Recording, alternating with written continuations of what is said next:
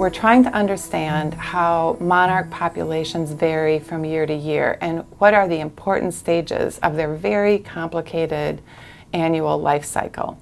So models help us simplify the way we think about things because as a biologist um, who studies organisms that live in the natural world, the systems out there are so complicated. There are so many different things affecting what goes on with monarchs or any other organism. So we need to simplify, and a model helps us pick out what is important. What are the important pieces of the system that we need to consider when we're doing our research? So an example of a model that we're using now, we divided the range of the eastern migratory population of monarchs into four different areas. One area is Mexico, and this area is where they, they migrate through this area and they overwinter there. And then this orange area is their, their southern range where the first generation breeds in the spring. Then the yellow is what we call the north central region of the United States where the, the majority of the monarchs go.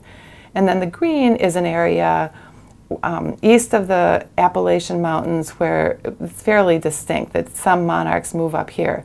So what we've done with this model is we thought, how can we simplify this movement of monarchs through their whole range?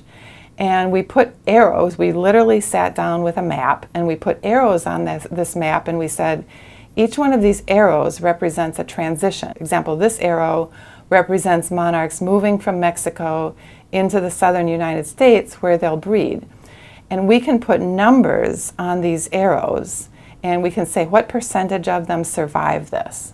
So each one of these arrows basically represents our simplification of a lot of different things, of weather conditions and um, predators and a lot of things going on. But, but we're trying to simplify this so that we can come up with an understanding of which range is the most important driver for monarchs but we have to make decisions about what not to include. For example, we know that some monarchs from this northeastern region fly into Florida.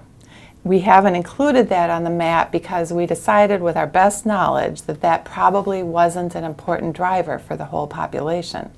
And we know that some stay during the winter along the Gulf of Mexico. But again, we had to make a decision. We needed to keep the model simple enough that we could, it was mathematically tractable. This was a very complicated model as it was, and we had to decide what to take out of it. So the disadvantages of a model are, even though you're using your best knowledge, you know that you're leaving things out. So it's a simplification, but simplifying the natural world is really the only way that, that our brains can understand it because there's just too much. We can't, we can't model everything.